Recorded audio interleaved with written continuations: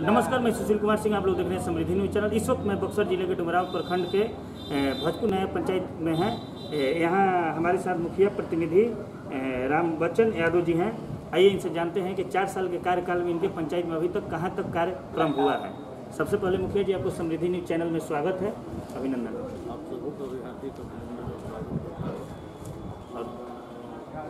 सवाल अभी तक पंचायत में विकास तो आई है, लेकिन अभी कोरोना को लेकर के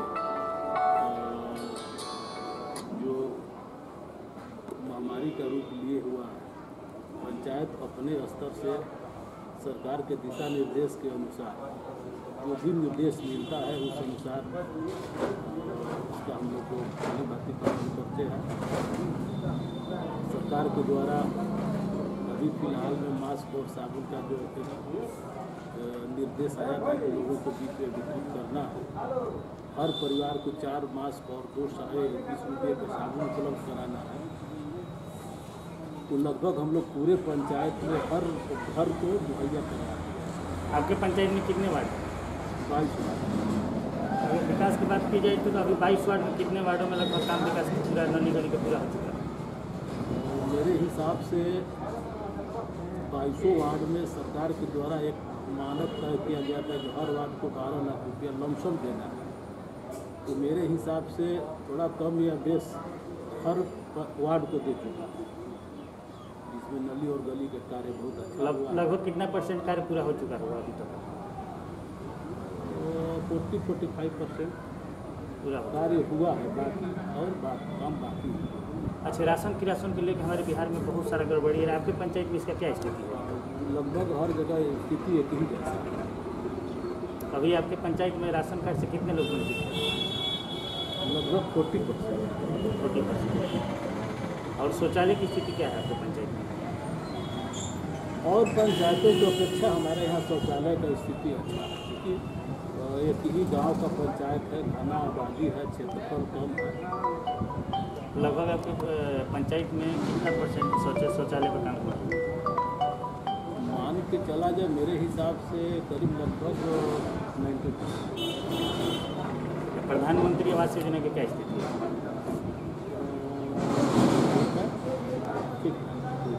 मतलब कितना लोग आवास में नाम आ गया होगा आपके पंचायत में अभी एक सौ बासठ लोगों का लगभग नया वाला में है और पीछे जो था लगभग। और हमारे अ, भारत में कोरोना महामारी जो है, बहुत तेज़ी से बढ़ रही है। अपने पंचायत के लोगों से क्या कहना चाहेंगे? कोरोना महामारी से बचने के लिए जो सरकार का गाइडलाइन इशू होता है और प्रशासन के द्वारा जो निर्देश दिया जाता है, उसी बात को हम लोग भी अपने जनता के बीच में जा करके उस बात को बार बार रिपीट करते हैं कि मास्क पहने, दूरी बनाए रखें साबुन से हाथ धोएँ। महामारी से बचा जा सके। अभी सरकार द्वारा आया था हर एक पंचायत में साबुन और मास्क बांटने के लिए लगभग कितना वितरण किए आपको अपने पंचायत में? बाईसों वार्ड में मिलाकर लगभग पच्चीस हज़ार मास्क का वितरण किया। आज से लगभग उन्नीस सौ अठहत्तर में जो चुनाव हुआ उस चुनाव के बाद हमारे गाँव के जो हम लोगों के गार्जियन मुखिया एक थे सभापति मिश्रा जी। मिश्रा जी। जो कि तेईस साल का मुखिया का कार्यभार संभाले। उस पीरियड से लेके आज तक मतलब तीन मुखिया गुजर गए चौथा हम आए। त्रिस्तरीय चुनाव के बाद जब हम आए तो दो तीन पॉइंट इस तरह का था कि वहाँ आज तक कामें नहीं कहाँ कहाँ जैसे जुम्मा मस्जिद से लेकर के और तारकेश्वर पांडे के दरवाजे तक। बोलिए इसको बोलिए। क्योंकि वहाँ दो संप्रदाय के खींचतान को लेकर के और जितने भी मुखिया अभी तक आए उस कार्य को नहीं करा पाए। जो आप करवा सकते करवा उस काम को हम अपने रीजन में करवाए ठीक है तो उसको बोलिए आप हम पूछ रहे हैं कि बहुत सारा सुनने में आता है। बात के पहले जो भी चीज़ का विकास नहीं हो पाया है उस काम को आप करके दिखाए हैं इसका क्या रीज़न है क्या कारण है बताइए।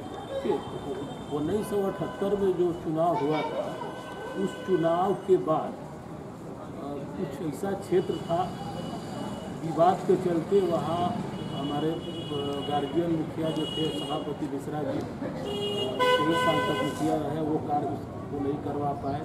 उसके बाद तीन मुखिया और लोग आए। वो भी उस कार्य को नहीं कर करवा पाए। जो काम को हमने अपने रीजन में पहला काम वही करवाया जो लोगों ने नहीं करवाया कहाँ कहाँ जगह कौन कौन जगह पर कार्य पहला काम चूमा मस्जिद से लेकर तारकेश्वर पांडे के दरवाजे तक क्योंकि नाली विवाद के चलते गाँव का मेन रोड है।